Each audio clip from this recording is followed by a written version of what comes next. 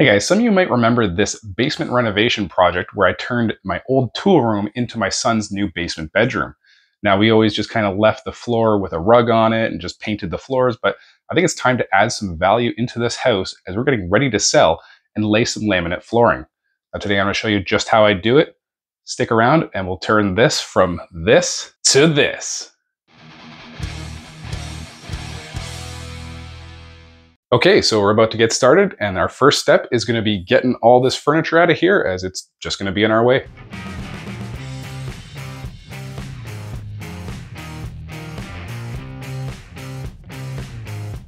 So there's two schools of thought when it comes to doing the edging around laminate flooring like this. Now, one, you can go ahead and just leave everything as it is and install a piece of three quarter round around the outside to cover up your expansion gaps because you are going to have a little bit of space between the wall and the edge of your piece for expansion and contraction. As you go through the summer, the humidity, all that, it's gonna move. Now, the other thought in what I'm going to be doing is I'm gonna take off all of my trim because my trim is actually relatively thick at the bottom as it is. It's about three quarters of an inch thick. So what I'm gonna do is I'm gonna pry off all of my trim, and as I pry it off, I'm gonna number them. Starting on this piece over here, then this piece, then this piece. This will be one, two, three, going around the room that way, four, five, six, seven, eight, nine, all the way to that other side. Now, this will just help me for putting everything back because all these pieces are already cut to perfect size. I don't want to mix anything up. So I'll just take a Sharpie, mark the number on the back, and it'll be easy to put everything back.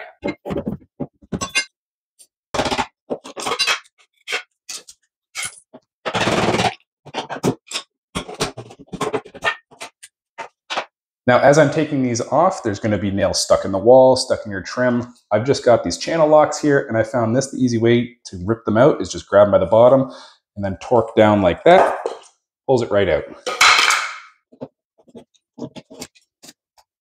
So I've just taken the closet door off, and now I need to remove this bottom bracket that supports the closet door, as the floor is going to be about 10 centimeters higher than it currently is. Now, I do have room for that adjustability on the closet door, so that's not an issue. This will just get mounted higher after the floor is installed. We need to go ahead and cut off the bottom of this trim going around the door on this side and this side. And I'm just going to use a piece of the laminate flipped over. So I'm using the side that doesn't show. And I'll use my vibrating multi-tool here to just cut that piece out. And again, we've got it flipped upside down because we don't want to wreck the nice show side.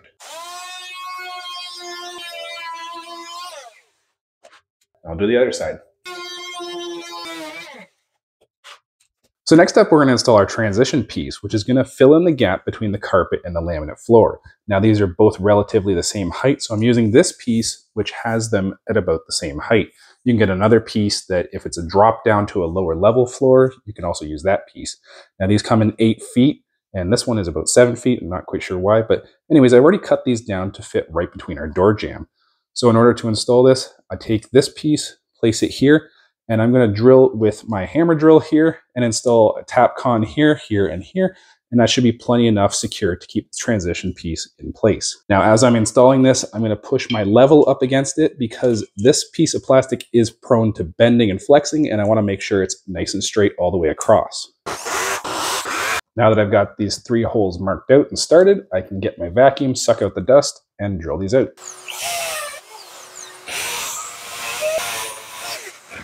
Holes are drilled, now the three Tapcons to keep it in place. Now once we get our laminate started here, we can come back and do the transition and just hammer it into place. So the last thing that we're going to do before we can actually start laying some laminate is we're going to lay down the underlayment. Now this acts as a vapor barrier as well as a cushion. Now you can buy lots of different kinds. Some have the tape built into them and some are a little more fancy, super extra money. I don't really see a difference. It's just a little thin piece of foam really. So this one doesn't have the tape, so I'll go ahead and tape them together once I've got it laid down. And then just before that, I am going to vacuum the whole room, make sure there's no hidden pebbles or anything like that, because we don't want a princess and the pea kind of situation going on. So now we're on to the underlayment. You see I've got it in the corner there. That's because I'm going to be starting in this corner, rolling it this way, then the next piece here and here. And those are nice, square, easy cuts. From there, the next horizontal pieces are going to have a lot of funky cuts in them. It's not that hard, just lay it out, score it to the wall, and make sure you tape all these pieces together. Now let's hyperlapse our way through this and meet you back here.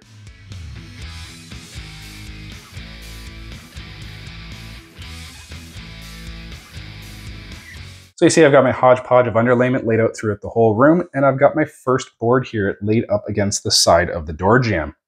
Now let's talk about the way I'm going to be laying this laminate.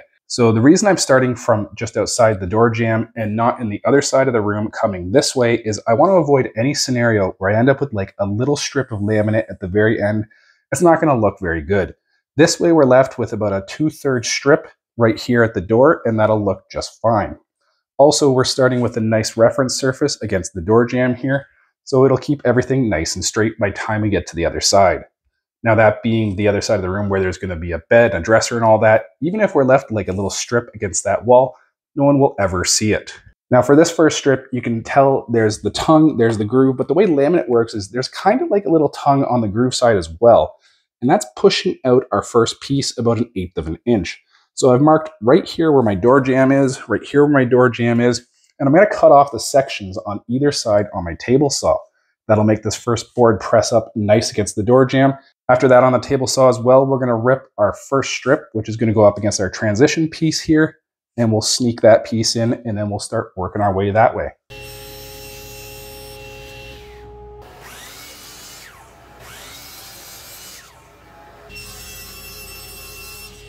Okay, we've got our first piece and our second piece here, and I've got the little groove piece cut off either side. So we'll just slide this guy in first.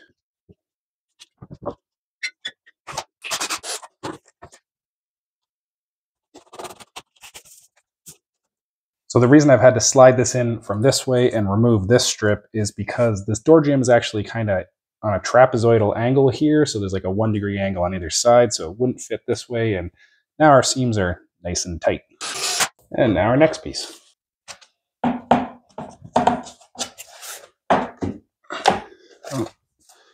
There we go. She's clicked in now. So because my Tapcons stick up a little bit, I'm just going to mark where they are and I'll just carve out a little bit with my bandsaw or the strip sander.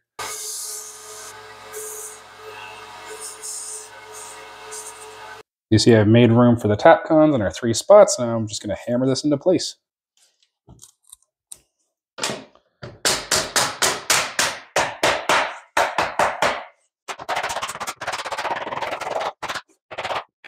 There we go. Transition from laminate the carpet. So to fill in the gap right here, I have this offcut piece from our first starter strip, which we ripped on the table saw. Now to measure and mark and cut for it, I'm just gonna place this up against the wall like this. We have about a quarter inch of spacing. That's for our expansion and contraction. Doesn't matter, that'll be hidden underneath our trim, so we'll never see that. And I just mark right here by eye. I can see the edge of the board down below, not off of the groove, but off of the top textured piece.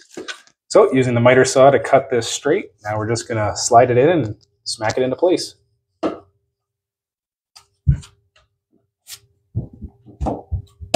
So this is going to be the next piece to go in our line here, and you see you run into a bit of an issue.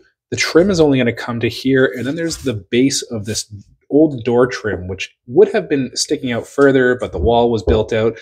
Ah, it's just kind of a mess. Now over here, I don't want to use one of those transition pieces. I don't think it's gonna look right. So what I really wanna do is have this piece just bang right up against here. And then on the other side, we'll have our expansion gap. So all these pieces right here will be butted right up against here. I think that's gonna look our best. So again, I'm gonna use my upside down piece and use my flush multi vibrating saw there and just cut away a bit of this trim and a little bit of this drywall. And that way this whole piece can just go flush right up against the wall.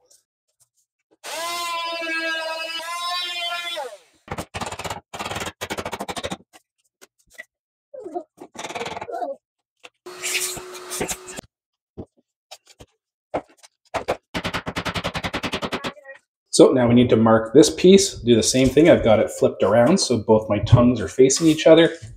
Push it right near the wall, leaving a bit of a gap and mark where I need to cut it. And we'll slip this piece in here. And now we have to use my special bar for getting in here. Okay. so the only reason we had to use this and that was so difficult is because this side was already wedged underneath the door trim right here. So we couldn't install it as a single piece and then slide it down. For this next piece, we'll cut this part to size. We'll attach them on the edge here, and then we'll slide both together. It should be flawlessly simple and easy. We won't need this bad boy again. Okay, so we'll attach the short side like that. And then we'll click them both in at the same time.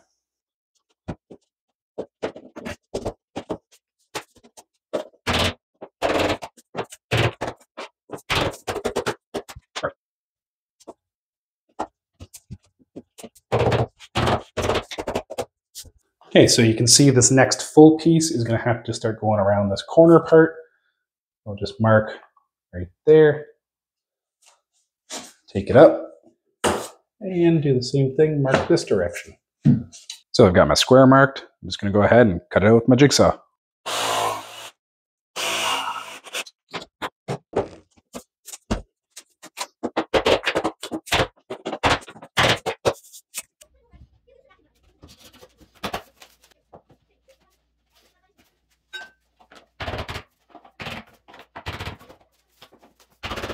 Okay, so we're now past all the crazy cuts and stuff other than just that one little one in that corner there.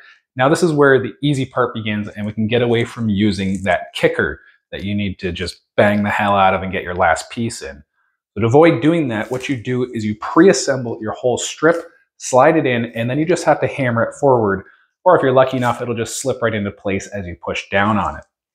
Let me show you how we're gonna do that, and then I'll just time lapse you through the rest of this room.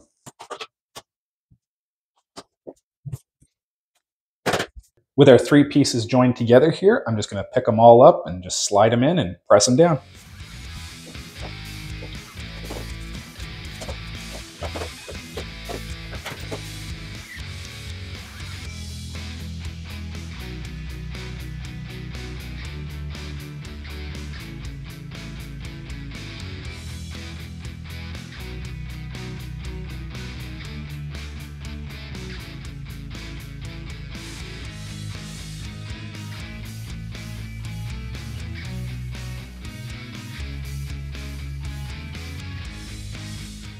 And there we are. It's basically done except this last strip. I'm sure you've noticed me going in and out of the door behind you there. That's up to my shop where I've been making all these cuts. I have the dust collection going non-stop for this entire process right here because you really don't want to be starting and stopping a big motor like that all the time. It's not great for it. Now this last strip, all I'm going to have to do differently is rip it to width, cut it to length, the two end pieces, and then instead of this regular bumper I've been using down here, I'll have to use that hook one again and just slam in those last few pieces. Now, whatever leftover pieces I have, I'm going to finish out the closet. It's a pretty deep closet there, so if it doesn't get all done, it doesn't get done. That way I don't have any extra pieces. Let's get to it. So same thing, I'm just pre-assembling it, and then I'll just smack it into place.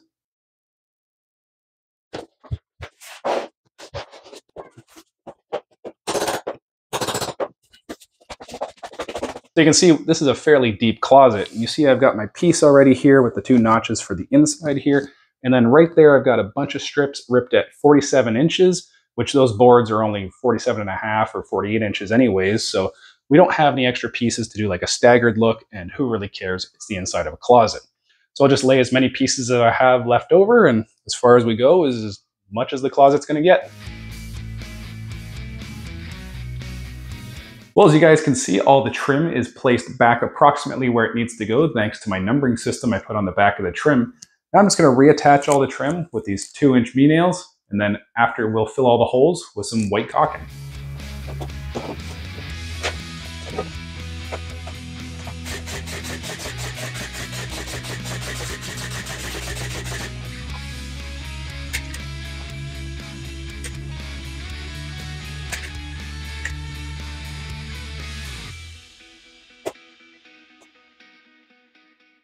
And there you have it with all the me nail holes covered up with that white caulking. The trim is looking good. I got the closet door reinstalled and this project is complete. Now I'd say it took me about four hours in total working time to actually complete this project. So I'll leave you with a few finished shots, glamour shots if you will, and we'll see you on the next one.